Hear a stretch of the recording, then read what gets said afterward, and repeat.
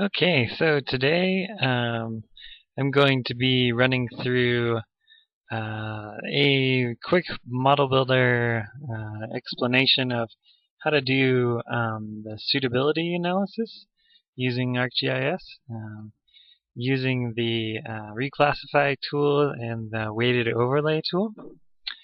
Um, basically, here we have um, the state of Puebla and uh, what we want to do is figure out what areas in the state of Puebla would be most favorable to uh, have uh, basically a working forest or forest property for timber harvest.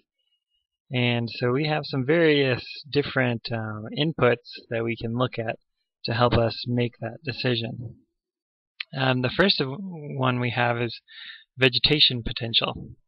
And so I'll turn this layer on and uh, we'll see these different colors signify different types of uh, vegetation. And um, if you look here, the uh, orange here signifies kind of like a pine forest um, or a more uh, evergreen, more high altitude type of forest. the purple here is kind of a cloud forest and type vegetation.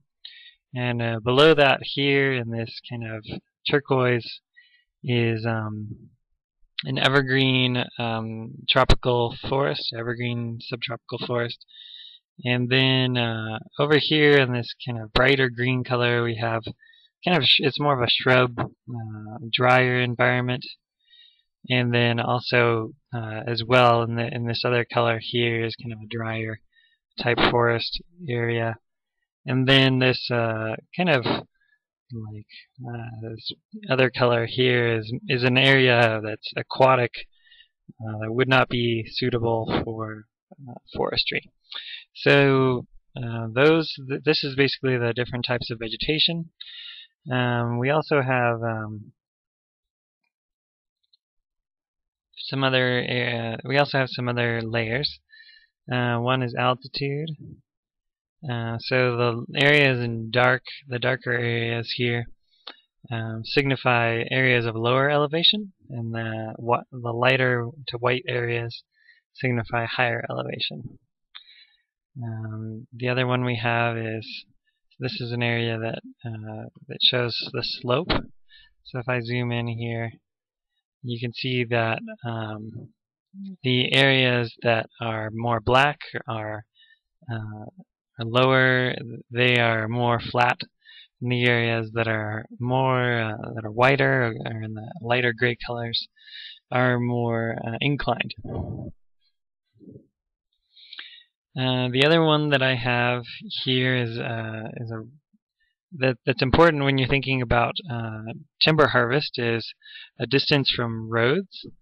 And so we have this uh, this here. This is a Euclidean. I use the Euclidean distance tool to determine a distance from roads. And if you see here, there's the roads. And then the areas in dark mean that they're closer to the roads, and as it gets lighter, you get further away. So um, basically, I pulled all those into uh, this model here. If you look at this model, so here in blue you have all of the inputs. And these inputs uh, are basically the vegetation, the distance from roads, the altitude, and the slope. And so then uh, what you have to do is you have to look at be able to look at these all of these in the same kind of in the same layer or in the same uh, reference frame of reference um, as far as like a value. And so uh, what that uh, the tool that helps you do that is the reclassification tool. So if you look here, uh, I'll open up the, this one first. These are the different types of vegetation uh, that we have and then I reclassified them um, giving them a value of between 1 and 5 based on their um, their available use or their, their um, uh, how good the, that area is for forestry. Um, is just based on expert opinion. And uh, so the areas that are the evergreen uh, tropical forest or the cloud forest areas are considered five, and then the area that is the evergreen forest is considered four. Um, the, the more pine associated forest is four, and then on down uh, to one for the aquatic. And so then uh, also going down through some of the other ones, uh, this is looking at distance from roads. So uh, for between 0 and 1,000 meters from a road is considered to be a 5. Um, between 1,000 and 2,500 would be a 4. And then, so more than, so like between 2,500 and 5,000 meters would be a 3. And so that like the further that you get from a road, the less favorable that area is um, uh, for uh, for timber harvest or for, for actually having a, a business run based on timber harvest. Um, the other one that we look at here is altitude. And Puebla has quite a variation in altitude, um, all the way up to over 5,000 meters. And so those areas are not considered very good. Between 3,000 and 5,000 really are not considered very favorable for forestry. Um, so those are given a 1. Uh, but between the lowest available value and 2,000, we gave those a 5 because that area is considered to be uh, more high value um, altitude range for forestry.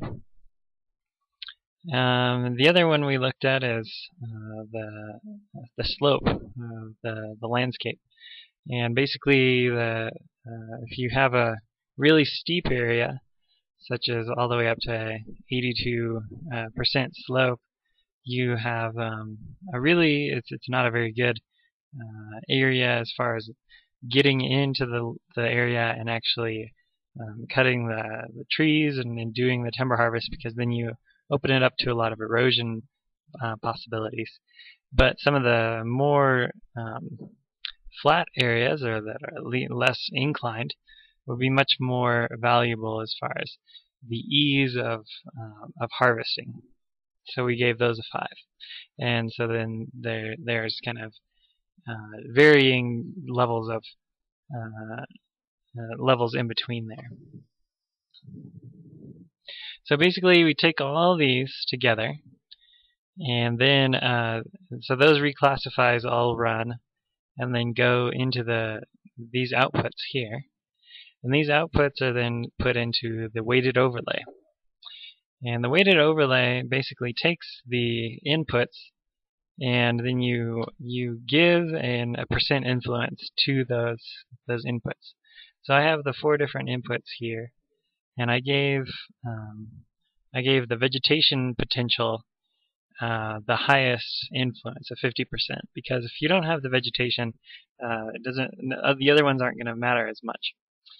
Um, so then the other uh, things that we took into account were the altitude, and then the the slope, and then the distance from roads. And so once we run that and that weighted overlay runs, it puts out one raster image. And so I'll pull that raster image up here so that we can see it. And so basically this raster image uh, gives you values from 2 to 5, 2 being the lowest value areas for timber har for uh, timber harvest, um, 3 being kind of medium low. Four being uh, starting to look good, it's favorable for timber harvest, and then five being the most favorable areas for timber harvest, and based on our criteria. And so if you look here at the roads, you'll see that um, that these some of these areas uh, uh in blue are connected to roads, uh, and they're also in really favorable zones as far as the vegetation type. Um, but if you look over here in this area, you'll see that uh, this zone, although the zone uh, in general isn't as favorable because of the fact that the uh, those areas are close to roads, then that area becomes more favorable for timber harvest. And you'll also see that the areas that are excluded from or are less favorable are considered to be the higher elevations, uh, kind of shown in here in this kind of whiter blue color. And then also areas that we know uh, based on the vegetation type that the, that vegetation is not favorable uh, for timber harvest. And so we can play around uh, inside this, uh, the weighted overlay tool, we can play around with um, changing around some of the, the percent influences. Um, and we can also change uh, within the reclassification, we can go in and change uh, the different uh, basically the different values say like a different altitude was considered more more highly valuable.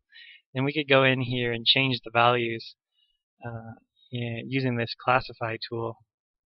And we could change um, if, if we found out through a certain study that like one value one one area of elevation was more favorable than another uh, we could use that uh, data and then uh, we could we could basically change accordingly to make the model um, track those types of values more closely. And so this has been kind of a just an overview of the um, the weighted overlay tool. And uh, so uh, I hope to use it again, you know, use it more in the future, and refine this this model and others for looking at um, natural resources.